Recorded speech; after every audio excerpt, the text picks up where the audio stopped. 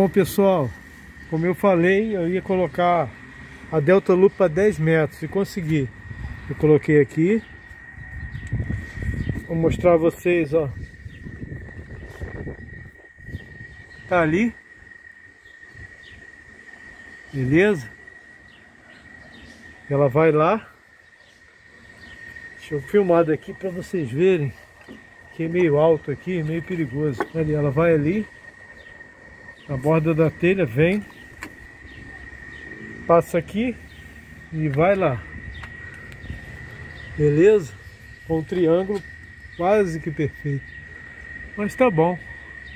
Vou ter o cabo ali para 75 conectado.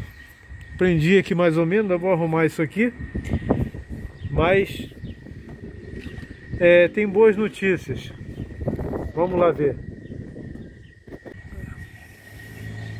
Tá aí, ó. Ela tá assim, vou mostrar melhor para vocês. Vocês verem como é que ficou. Vai lá naquela pontinha lá, vem e prende aqui em cima no caibro. E aí está. Bom pessoal, eu para fazer esse vídeo, vocês estão doidos para saber o que que deu a Delta Loop para 10 metros, né? Então tá, eu botei o FT80 porque tem mais potência para me ver como é que está o ROI no meu acoplador.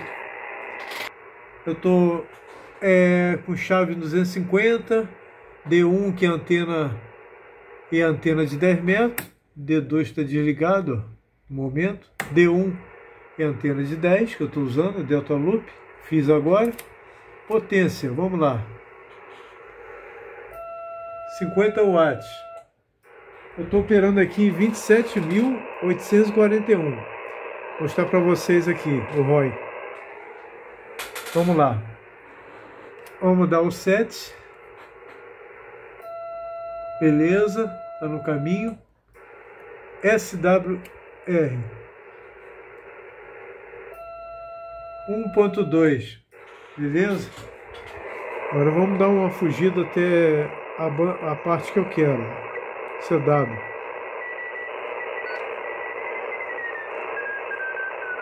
Já tem gente.